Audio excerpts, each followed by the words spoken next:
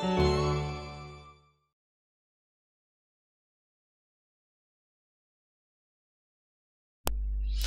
there, my name is Vishal Karavadra and I'm doing some Sage 200 videos and in this video we'll be looking at reversing transactions.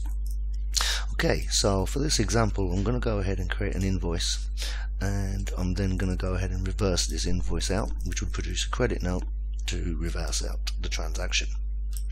So I'm going to select my account here and I'll select Abby and it's important to note that you can only reverse transactions on sterling accounts. Um, you can't do it on foreign currencies.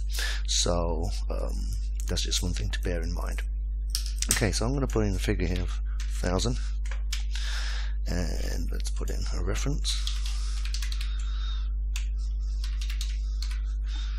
Okay, and then save that off.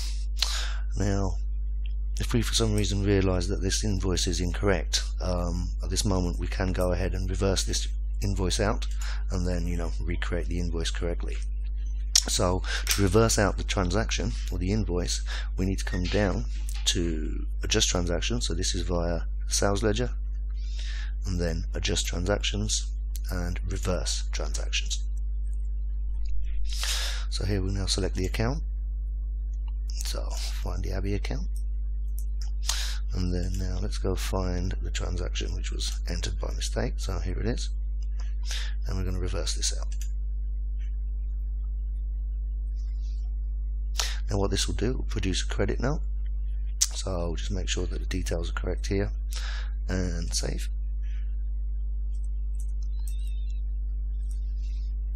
and that's it. This will now reverse out the invoice and Okay, so that's it. The invoice has now been reversed via a credit note and we can now go ahead and create the new invoice correctly.